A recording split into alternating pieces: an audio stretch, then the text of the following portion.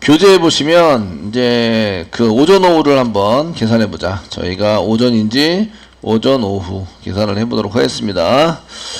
그 먼저 저희가 이제 얘를 24시간제로 꺼내 가지고 이렇게 쓸 수 있도록 만들어야 되는데요. 그래서 조건문을 한 개 주시고 저희가 요거 오전 오후인지는 시간 가지고 계산하는 거죠. 그러니까 hour 가지고 게, 그 알아보는 겁니다. hour, hours 가지고 하시면 되고 if 문장 써서 if. 만약에 hours가 hours가 12보다 적다, 적다 12, 12보다 적, 적으면 이제 알러스를 이용해서 오전입니다라고 알럿 알럿 쓰셔가지고 그 인용부 한 개 찍어도 되니까 오전입니다. 오전 오전입니다. 이렇게 쓰시고 그 그렇지 않으면 else죠. 그렇지 않으면 else else 써주시고 그렇지 않으면 알러 쓰시고요. 오후입니다. 라고 쓰자고요. 오후입니다. 써가지고 사용자 세미콜론 찍어주시고요. 여기다가 뒤에 세미콜론 예, 세미콜론 찍어주시고 그 다음에 뒤에 세미콜론 찍어주세요. 저장하시고 오전일까요? 오후일까요? 현재 예, 12시가 넘었습니다. 12시가 넘어서 이제 오후가 되겠죠. 자, 브라우저로 이제 그 F5키 누르시면 시작합니다. 오전입니다. 아, 이게 10인데 오전입니다. 야. 지금 12시다. 12시인데 12시보다 적으면 끝. 이런 오전, 오전 입니다. 지켰어요. 12보다 12보다 적으면 10이 아닌가 현재? 네?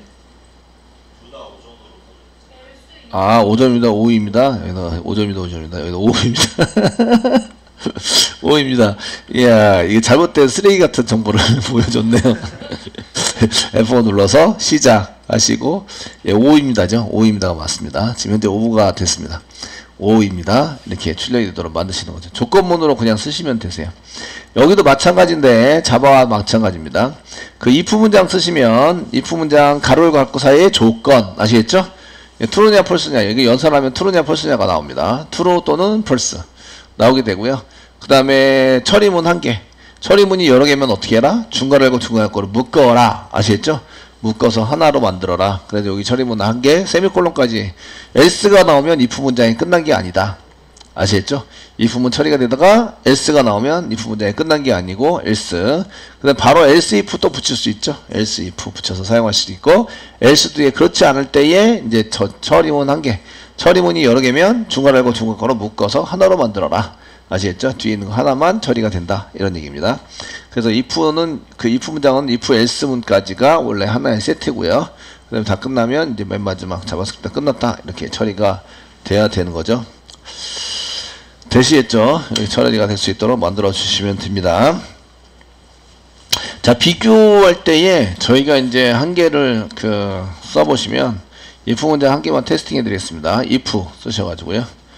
예, 쓰시고, 상, 그10 equal 10 쓰시고요. 이게 맞으면 알럿 쓰시고, 예, 저희가 10 equal 10은 같습니다. 10입니다. 입니다. 이렇게 같다은 true입니다. true. true입니다. 쓰겠습니다. true입니다. 근데 여기다가 그 인용보를 한 개짜리를 한번 찍으면 문자열로 바꿔요. 문자열로 바꾸면 이렇게 true입니다. 라고 쓰는 거죠. 같다. 아, 같다니까 이꼴 두 개 쓰셔야 됩니다. 두 개. 비교, 이꼴 비교 두 개. 이렇게. 예.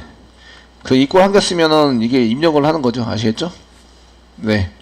되셨나요? 되시겠죠? 예, 그 else도 한 개 붙이겠습니다. else, else. 펄스입니다. 붙이겠습니다. 알럿 해가지고 세미콜론 찍으시고 맨 끝에 음, true의 반대 펄스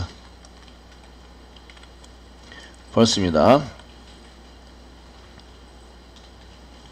됐죠? 그 밑에도 찍으시고요. 인용부 한 개짜리 찍은 거 false라고 한 개짜리 짜는 false입니다.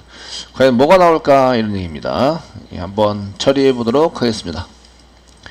자 실행하시면 자바스크립트 시작을 했고요. 오전 오후입니다 나왔고요. 이거는 true로 나와요. 이거는 이건 숫자인 거죠. 인용부 안 찍은 거와 그 숫자 20과 숫자 10은 같습니다. 이거는 이제 비교 하나만 하 여러분 true인 건 아시죠? 예, 그 다음에 확인 눌러서요. 그럼 얘도 true라고만 나옵니다. 여기 보시면 여기 요거와 인용부 찍은 거 true입니다. 되셨나요? 되셨나요? 아 문자를 비교할 때 값으로 그냥 비교해버리고 맞는구나 라는 걸 알 수가 있으시고요.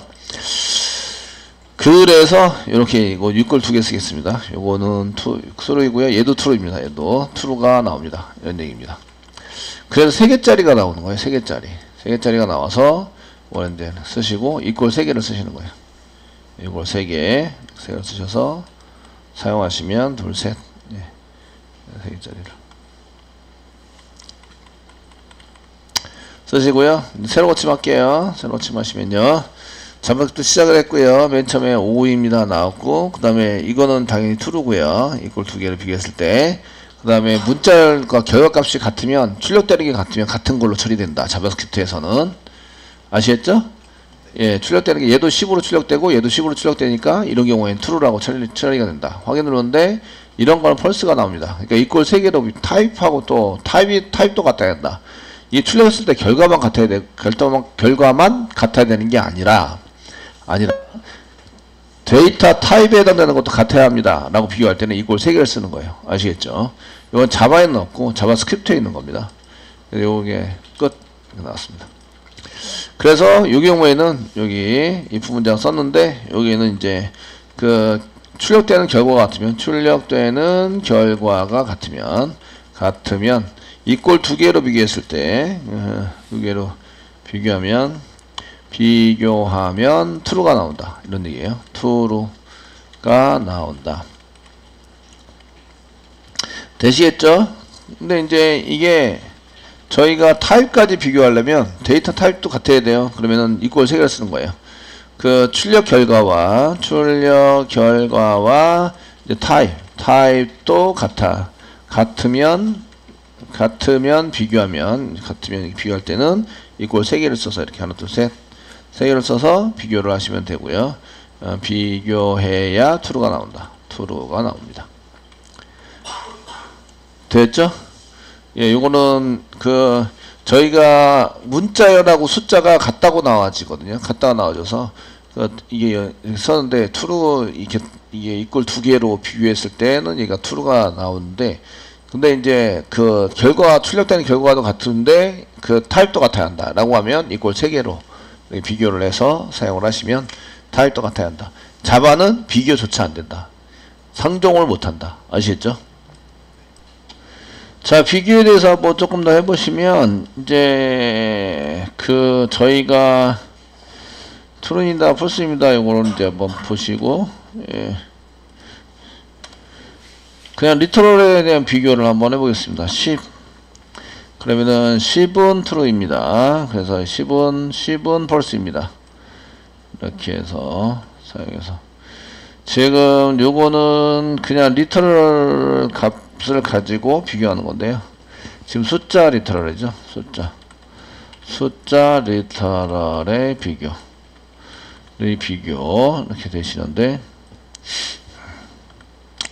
저장하겠습니다. 이제 지금 요거는 alert으로 찍히니까, 컨트롤 찍을 거. 새로 고침하시면 이제 계속, 계속 눌러야 되죠. 오, equal equal 두 개에서 문자도 문자열과 숫자로도 true입니다. 이거 확인해 주시고 세 개를 쓰면 false입니다. 타입도 맡아야, 같아야 되는데 타입이 틀린 거죠. 그리고 10은 true입니다. 아, literal 10 자체는 true로 보는 거죠. true입니다. 그 숫자인 경우에 이렇게 그 자바스크립트는 자바스크립트는 숫자만 가지고 true냐 false냐 이렇게 되시고요. 그래서 숫자인 경우에 true입니다고 여기다 0을 써보겠습니다. 0. 0은 true입니다. 0은 false입니다. 이제 숫자, 숫자 literal 10에 대한 10 literal 10의 비교, 얘는 0의 비교. 이렇게 되시는데, 자, 새로 고침 한번 하시고 쓰시면, 그 자바스크립트에서 이제 숫자, 숫자 10은 true입니다. 라고 되어 있는데, 숫자 0은 false입니다. 이게 없는 거죠. 전 숫자가 없는 게 0이죠. 그래서 자바스크립트에서는 여기에 숫자가 있는 거는 true, 숫자가 없는 0, 0이 없, 숫자가 없다는 얘기예요. 없는 거는 false를 찍게 됩니다. 그 마이너스 값도 testing해 볼 수 있는데 마이너스 10 네. 마이너스 10은 true냐 false냐 이런 거 지정할 수 있는데 해볼 수 있는데 과연 true가 나올까요? false가 나올까요? 예, 마이너스 10인 경우에는 여기 넘어갑니다. 그냥 넘어가시고 야 확인 좀 하자. 예. 그냥 10은 true인데 0은 false입니다. 마이너스 10은 true가 돼요. 숫자가 있는 거죠. 숫자가 여기 있는데 크기가 있다. 이쪽으로 넘어가거나 이쪽으로 넘어가면 이제 여기는 true, 여기도 true. 딱 여기는 false입니다. 중간에. 얘는 0인 경우에는 데이터가 숫자가 없다 이런 얘기죠. 크기가 지정이 안 돼 있다. 그렇기 때문에 0만 false. 그 다음에 나머지 숫자는 true로 나온다. 이거 자바스크립트 특징입니다. 자바에서는 이거 안 됩니다. 아시겠죠? 비교 안 되는데 자바에서는 이게 가능하다라는 얘기고요. 자 이제 그 위에 거 좀 주석 처리하겠습니다. 알로소스 뭐 아, 주석 처리 하려고 했더니 이프 문장이랑 붙어 있어가지고 좀 그렇긴 한데 예, 돼 있으시고요. 그 다음에 이제 그 문자열에 대한 여기 숫자 숫자 리터럴에 대한 비교입니다. 숫자 리터럴의 비교. 할 때 0일 때는 요거는 0이 0이면 벌써 그래서 나머지는 나머지는 true true가 나온다. 그러니까 플러스 값이나 펄, 마이너스 값이랑 상관없이 0이 아니면 이제 펄스가 나온다. 이런 얘기입니다. 되시겠죠? 그 다음에 이제 문자열에 대한 문자 문자 리터럴 리터럴의 비교 에,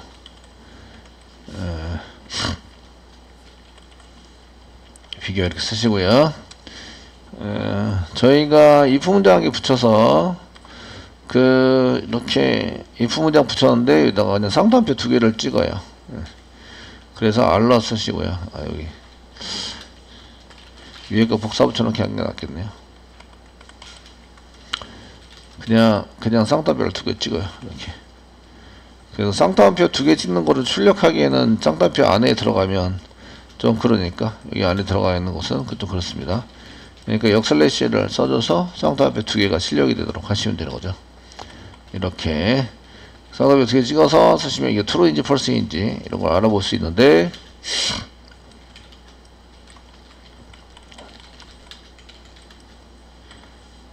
되시겠죠? 수 있는데 이렇게 하시고 이제 새로 고침 해 보시는 거죠.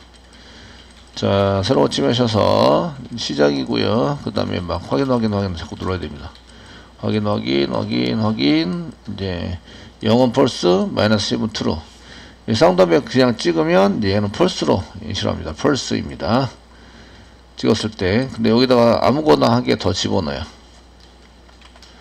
아무거나 한개 집어넣어서 지금 여기다 한 개 여기다 A 뭐 블랭크 띄워도 되고요. A 그냥 A 쓰면 A가 true인지 false인지 알아내는 거예요. 그래서 이렇게 A true, A false 되셨나요? 네.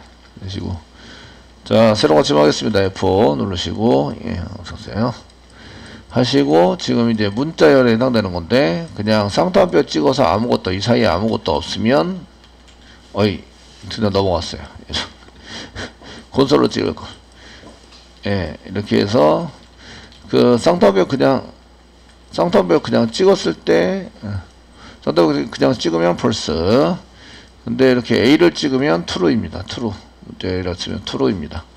라고 나온다. 이런 얘기예요. 그, 이 경우에는 그 문자 리터럴 비교할 때는 얘는 문자 literal. 문자, 문자열에 대한 문자요. 문자열에 대한 literal 비교할 때는 얘는 이제 그냥 쌍따옴표를 찍어서 데이터가 아무것도 없는 경우와 데이터가 있는 경우가 나, 나눠지고요.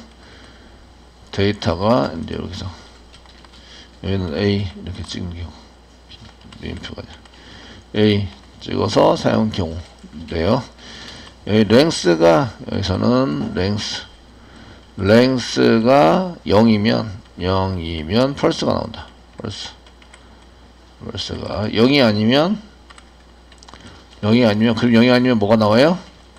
true가 나온다. true가 나온다. 그 요런 코딩도 많이 짜게 돼요. 문자열인데 걔가 문자열 있을 때 그냥 랭스를 비교해 봤더니 랭스가 0이다. 이러면 이제 그 데이터가 없는 걸로 봐서 길이가 0이라는 거 봐서 걔는 이제 펄스가 나오게 처리가 되고요. if 문장으로 그냥 물어봤을 때 아시겠죠?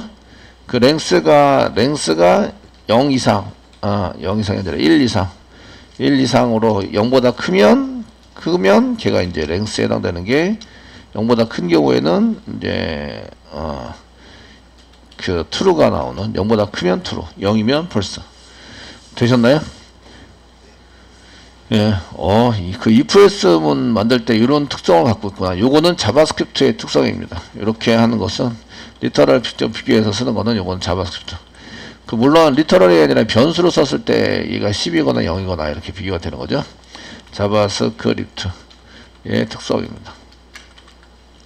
자바에서는 이렇게 쓰지 못합니다. 자바스크립트에서만 이렇게 써서 나오는 거죠. 문자열 비교도 마찬가지. 되시겠죠? 네, 이런 것들을 알고 코딩을 작성하셔야 된다. 이런 얘기입니다.